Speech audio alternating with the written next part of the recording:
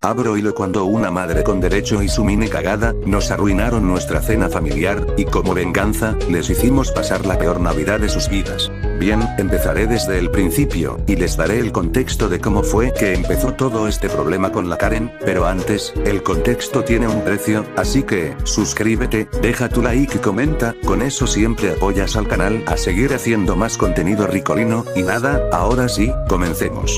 Esto sucedió hace unos años atrás, por ahí de las navidades del año 2018, yo en ese tiempo tenía unos 11 años, y junto a mis hermanos esperábamos con ansias el día de Navidad. Ok enanos, ya es 24 de diciembre, y son las 9 de la mañana, no sabemos qué nos darán de regalos, pero aún así, mantenemos la esperanza de que nos den la Play 4, con el juego del hombre Spider-Man. Espero que sí, llevamos esperando esto desde hace muchos meses, y esperemos que sí sea lo que estamos esperando. Yo opino que... A ver chamacos, muchas palabras y poca acción, no están viendo todo el desorden que hay en la casa, será mejor que se pongan a ordenar todo, o de lo contrario se quedarán sin regalos. No. Está bien jefa, pero no te metas con los regalos, ellos no te han hecho nada.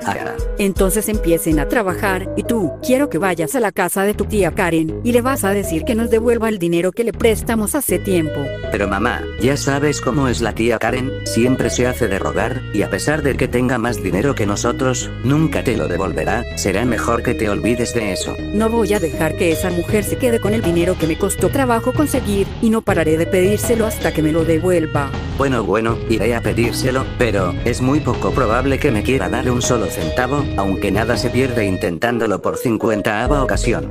Ah, se me olvidó decirle, sobre que no mencioné nada sobre la cena que estamos haciendo para esta noche, aunque no creo que sea tan descuidado como para invitarlos. Como les iba diciendo, mi tía es una madre con derecho, y también tenía un hijo, que es igual de castroso, nadie en mi familia los soporta, y nunca los invitamos a ningún evento familiar, ya que siempre hace un escándalo por todo, y muchas veces nos roba, así que cuando llegué a su casa, le dije la razón por la que vine. Hola tía, buenas tardes, mi mamá me mandó a decirte que si le puedes regresar el dinero que te prestó hace 5 meses, es que lo necesita mucho. ¿Que yo qué? Escúchame bien mocoso, ya estoy cansada de que todas las semanas vengan a pedirme el dinero, ya les dije que no tengo ni un solo centavo, y punto, dile a tu madre que ya no me esté molestando con ese asunto, o si no ya no seré amable con ustedes. Pepe, pero, como que no tienes dinero, mira todos los regalos que tienes, y además, no es mucho, son solo 500 pesos que no te cuestan nada, sobre todo para la cantidad de dinero que gana tu esposo al día. Ya te dije que no tengo dinero y punto, mejor vete de aquí, porque no quiero ver tu cara de tonto, y algo más, cuando te vayas, cierras bien la puerta. Jajajaja, ¿pero qué haces aquí? Pensé que ya no volverías después de esa vez que te quité tus cartas de colección. No estoy aquí por eso, solo vine a pedirle el dinero que tu madre nos debe, pero algún día, algún día te haré pagar por mis cartas, pero por hoy solo me conformo con que no vengas a la cena familiar. ¿Qué dijiste? Me pareció escuchar algo sobre una cena, o fue mi imaginación.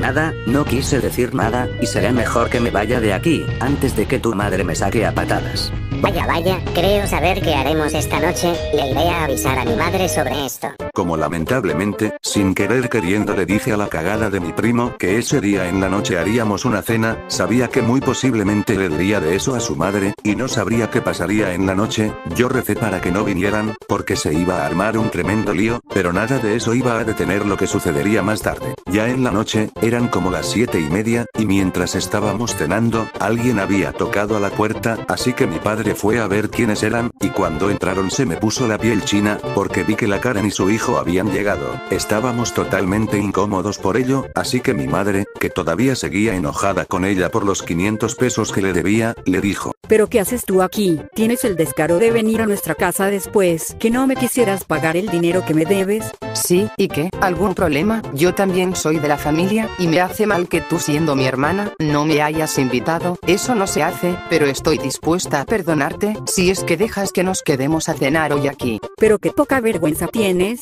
de ninguna manera te vas a quedar aquí, tú siempre quieres salirte con la tuya así de fácil, pero yo no voy a dejar que eso pase, te doy unos segundos, para que tú y tu niña de Fecio se vayan, antes que les eche toda la sopa encima. Está bien, me iré, pero antes, hijo, saca los cohetes y yo...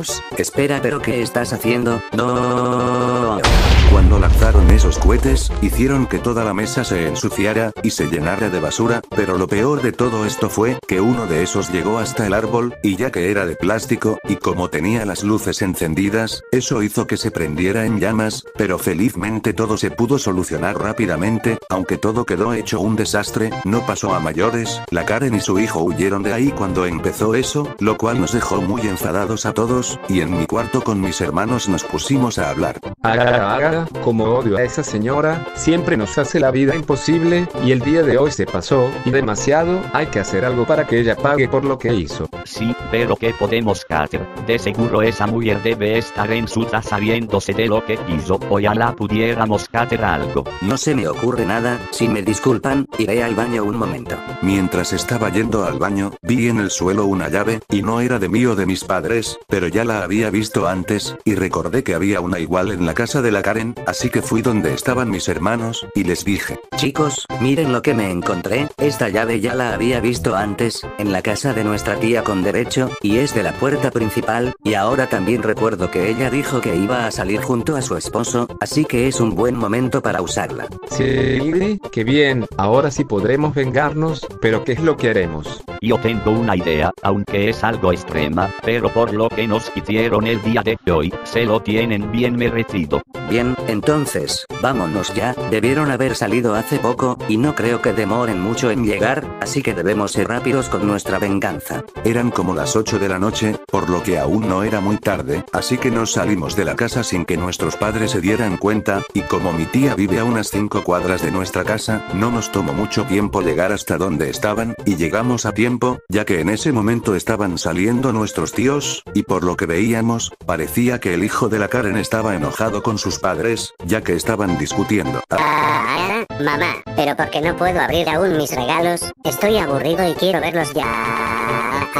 ¿Que no entiendes? Te dije que los abriríamos cuando fuera medianoche, así que te esperas y punto. Ahora, quiero que vayas a comprar unas velas, mientras tu padre y yo traeremos unas cosas para las decoraciones, y no quiero ver que los regalos estén abiertos, porque si no, te daré la lección de tu vida con la chancla magistral. Está bien, pero espero que mi regalo sea la nueva Play, porque si no me enojaré mucho con ustedes, y romperé todos los regalos. Era el momento indicado, entramos a su casa, y agarramos todos los regalos que habían bajo el árbol, fuimos al cuarto de mi primo con derecho, y procedimos a romper todos y cada uno de los obsequios, era algo muy excesivo, pero ellos se lo merecían, no queríamos destrozar el de nuestro tío, ya que es una buena persona, pero tuvimos que hacerlo, y eso también era parte de mi venganza contra mi primo, y las muchas cosas que me hizo, y también las que me robó, cuando terminamos, nos fuimos inmediatamente de ahí, y unos minutos después, llegó mi primo con derecho, y vio todo el desastre que había en su cuarto, y por casualidades de la vida, también llegaron mis tíos, y vieron lo que aparentemente había hecho su hijo. ¿Pero qué hiciste, hijo? ¿Por qué destrozaste todos nuestros regalos? Exijo una explicación.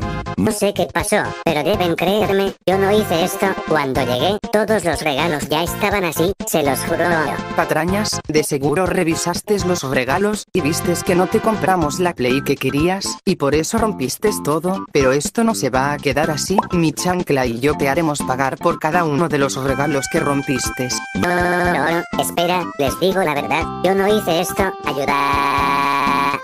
Mi primo con derecho recibió la lección que merecía, y mi tía también tuvo su merecido, ya que le dejé a mi tío unas fotos que tenía sobre ella, y las cosas malas que hacía, lo cual hizo que él se enojara mucho con ella. La moraleja de esta historia sería, que nunca molestes a alguien en Navidad, ya que los regalos pueden pagar las consecuencias, jajajajaja, XD, antes de pasar a los saludos, les pediría un favor, si les gustó este video, no les cuesta nada suscribirse, dejar su like, y comentar, con eso siempre apoyan al canal, y me motivan a seguir haciendo más contenido, y nada, sin nada más que decir, vamos a los saluditos.